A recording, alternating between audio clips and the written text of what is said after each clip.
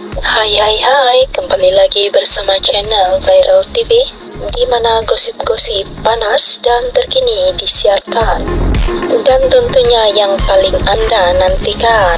Terima kasih atas sokongan anda semua. Jangan lupa tekan butang subscribe dan tekan lonceng, like, komen dan share. Salam sejahtera berita hari ini dipetik dari Malaysia GZ. Samsul enggan cerai Putri Sararayu dilepas cara bayi.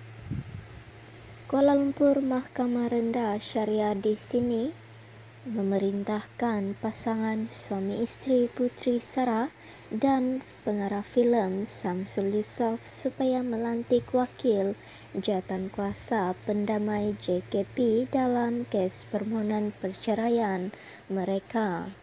Hakim Mahkamah Syariah Akmaluddin Ilyas memerintahkan pasangan berkenaan dirujuk kepada JKP bagi proses berikutan selepas Samsul atau nama sebenarnya Muhammad Samsul Muhammad Yusof enggan menceraikan Putri Sarah pada prosiding sebutan kes.